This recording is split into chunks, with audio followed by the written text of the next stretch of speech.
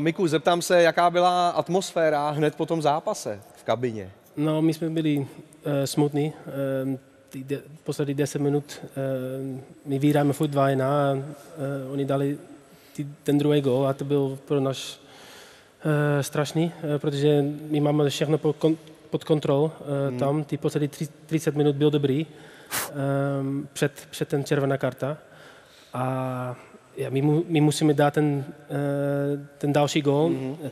nebo drž ten uh, vítěz, ale uh, samozřejmě to je, to je smutný. Mm-hmm. Uh, jaké to bylo pro tebe hrát v dresu Slávie na hřišti v Liberci, kde si ještě na podzim dával góly?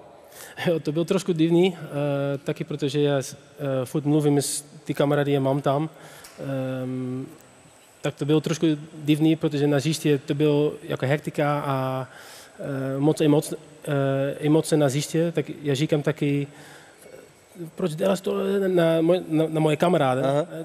Ty, ty děláš tak, ty děláš tak uh, a já, víš, já já tě rozumím. A to, to byl můj kamarád, víš? Já, vím, já tě rozumím. Já, já nevím, já říkám, ty, sorry kámo, mají. potom, víš, že to... Já tě rozumím moc a, Ty jsi tam měl samý kamarády. Jo, přesně no. tak. A, ale to bylo uh, docela dobrý. Um, Samozřejmě, když já měl ten penalta, uh, myslím, to byl červ nebo nic, no, on říká taky na mě něco a to bylo, to bylo divný, ale dobrý za mě.